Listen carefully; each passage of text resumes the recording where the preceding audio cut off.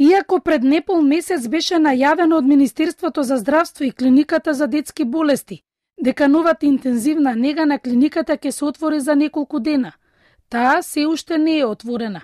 Министерот за здравство Арбен Таравари во очетот за студена влада го повтори стариот одговор, но без нов одговор, зошто се уште не е отворена.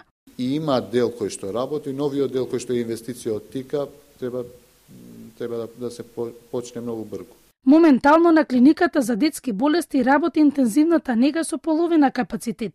Од друга страна, нивните колеги од клиниката за гинекологија и акушерство дневно имаат и до 55 новороденчиња, кои се згрижани во минималните услови што може да се понуди од клиника, која не е педиатрија. Така е, значи проблемот е проблемот е дека интензивни неги не, нега не може да има само во клиниката за гинекологија и акушерство. Тука е основниот проблем. Ние треба да почнеме и веќе размислуваме да се дисперзира тоа, да се оствори и во Штип и во Тетово интензивна нега. И раѓањата во клиниката во гинекологија се многу повеќе од колку што е планирано. Таравари беше со најкраток мандат за министер за здравство. Тој сака кариерата во политиката да ја продолжи во локалната самуправа. За сега се уште не се знае кој ќе биде идниот министер за здравство.